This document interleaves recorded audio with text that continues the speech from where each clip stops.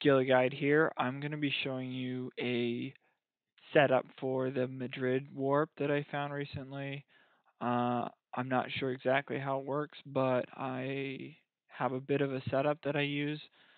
So after I go off the ramp, there's a very clear reference in this signpost here. So what I do is I go uh, down from the side post. You'll see this little bright patch show up. This is the first visual indicator.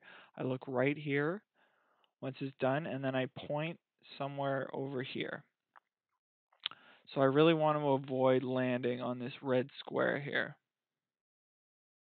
And then on the next, so went back here, the red square is back here. And this square that I was looking at here is the one that where that's generally where you want to land. This blue square is actually where you need to get to in order to um, get the warp. But most of the times that I've gotten this, um, I bounce off of this green square and then land on the blue square.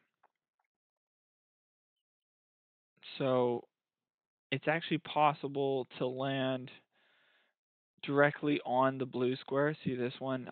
I, I'm far enough that if I had enough, so it's possible to actually land on this blue square. But if you go past the blue square in any capacity anywhere around here, um, you will just get a corner cut. You will not get the warp. So what you want to do is land on the green square, bounce over to the blue square, and then you end up resetting.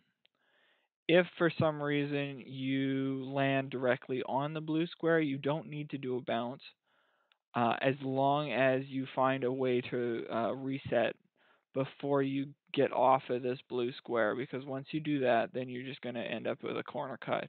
And the corner cut's a little slower, I think. So, uh, yeah, that's my setup. I'm going to be uh, including a bunch of examples afterwards so I can show you what I mean. And one other strategy you can use is when you're on the blue square, you can tap your brake button and that instantly um, instantly stops your momentum and resets you uh, off course. So that's one way you can avoid going past it if you have extra speed, uh, Eh, but you still land on this blue square.